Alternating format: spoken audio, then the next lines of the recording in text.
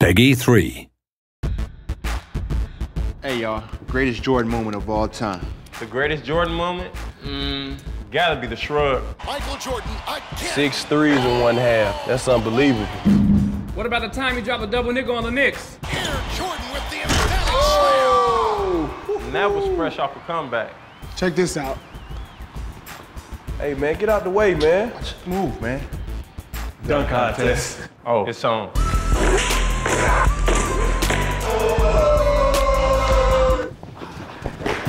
I'm going with the flu game. Can't eat sushi in Utah, brother. Landlocked. What about the game in Cleveland when he had 69? To the rack. Come on, man. Leave Cleveland alone. What about when he won that Father's Day championship? A lot of emotion in this win for him and the Bulls.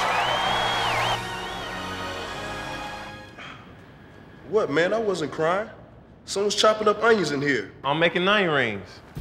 Keep talking, y'all ain't gonna get none. Hey, Rondo. What? I'm gonna phone my mom. Good. Tell Mama Rondo that MJ's dropping 63 on the 86 Celtics. Not what you playing. you think he's Jordan. Rated E for everyone.